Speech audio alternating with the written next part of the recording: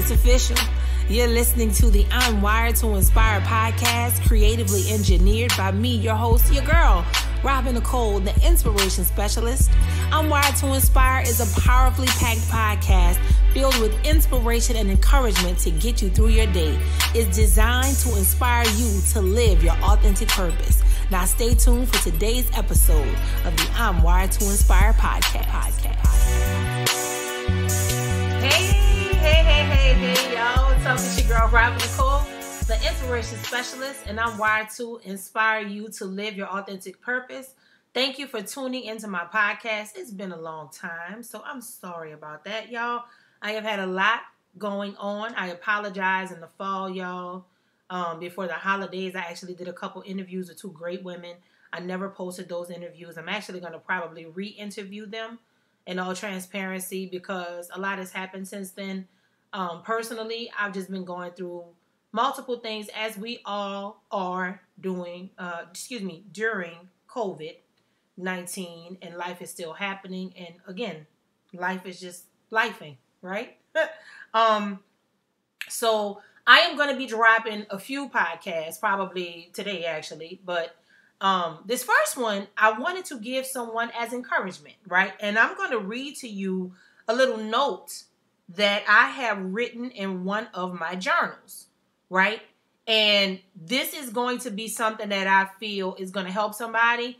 I know that this is God because I just happened to open this and I was like, oh, you know what? Let me share this, but this was not on my mind to share. I'm just going to be honest with you. Um, I actually have something else I'm going to be talking about. And in the meantime, y'all, go and follow my YouTube. It's called the Inspiration Specialist TV. And um, I drop more frequently on there, but I am actually going to get back to, um, I'm going to get back to posting more podcasts. I have a lot to say. I've been building up, and it's time for me to just get back out there. Where we should be at about 450 episodes. If not, we started in 2017. Woo! So, um, yes. With that being said, I am going to read to you this note, and I would just just my opinion. You can say it however you want to say it. You can rewrite it, but I would just ask you to download this episode so that you could um have this quick little prayer. And I just think it's important for the time that we are in, for those of us who are um, we are walking into the new. We're walking into new relationships, new prosperity, new uh, things that God wants us um, to encounter. You know what I'm saying? And this is not. I'm not trying to give you no um, get rich quick, nothing. No, none of that. I'm just saying we're in a time in our lives where God is just trying to do new stuff across the board. God is even doing new healing. He's healing us in a different way. He's rec- he's uh, doing a lot of reconciliation. He's doing a lot of restoration. Um, he's doing a lot of uh, redemption. You know, a lot of things are happening where um, God is pulling back the veil. he's pulling back the veil, and a lot of you who are listening to me who have struggled, um, who have really been fighting the good fight of faith, you have genuinely been feeling uh, defeated. um, for those of you who are in jobs right now who appreciate your job, but that job is making you miserable. For those of you who don't have jobs and not having a job is making you miserable. For those of you who are entrepreneurs and you just kind of feel like you can't get your footing in the midst of COVID. For those of you who are entrepreneurs and you're balling out of control. It does not matter what lane you fit in. And for all of those I didn't even mention, it doesn't matter your lane. I think the most important thing for us to do right now is just to remember who we are in God, in Christ, and who we are individually. It's very important for you to zero in on that because that is where you need to pull from right now. You know, we all have that coming to Jesus, as they say, well, we have to take a long, hard look at our lives and we have to pay attention to what we're allowing in and what we're putting out, right? So I said all of that to say this is a note that I have written to myself in one of my journals that I completely forgot about. But when I opened the book just now, the Holy Spirit said, Get on here, record this. Somebody needs to hear it. Okay, so this is what it's saying essentially. Now put your name in the blank. Blank. Whenever you want to go back to your past, old fake friends, frenemies, enemies, unappreciative folks, situationships, and clowns who never deserved you, remember this. Proverbs 26 11.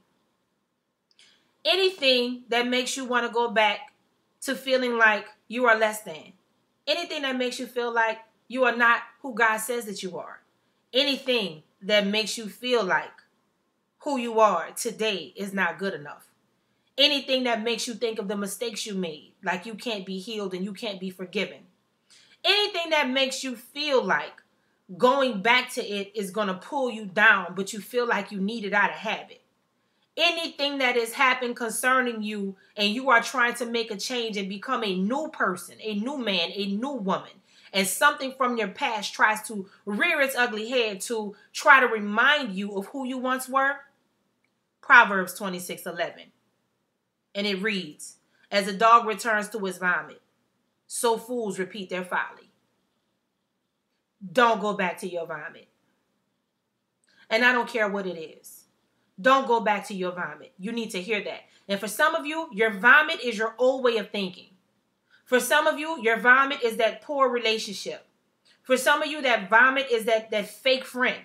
For some of you, that vomit is that old mentality of poverty that keeps you in a place of not prospering.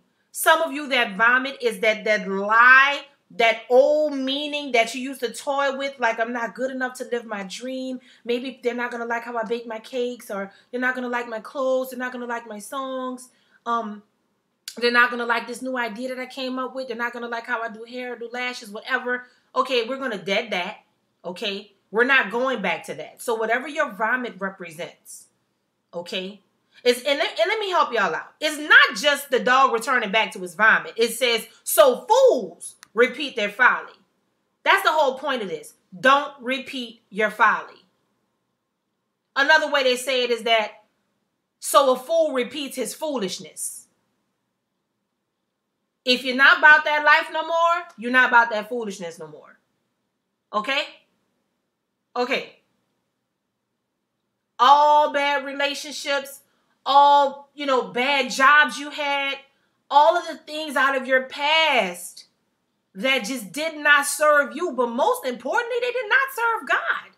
God got no glory out of these situations. Okay? He got no glory out of it. All of the things that you desire that give God no glory, we have to dead that. We have to shut that down. There is no room for that. There's literally no room for that. So I want to encourage you today.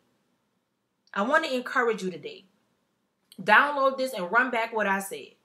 I don't care what spectrum it's on. I don't care if it's you remembering when you failed a test back in school when you missed some type of opportunity, so you think, but really God is building you up for something great. I don't know who that word was for, you know, or um you know, you you showed up to a place and you went to the wrong place and you missed the event you were supposed to go to.